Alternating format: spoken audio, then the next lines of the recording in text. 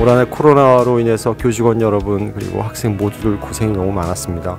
내년에는 보시는 이 곳과 같은 코로나 상황실이 필요 없는 한 해가 되기를 진심으로 바랍니다. 네, 감사합니다.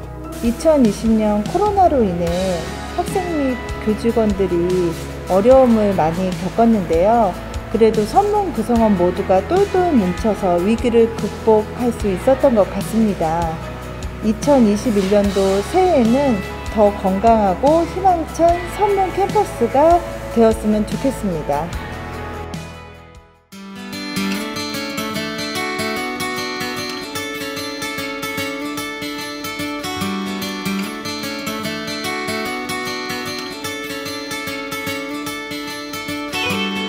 선문대 파이팅!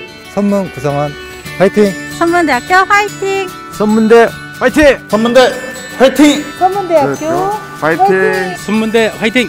선문대 파이팅!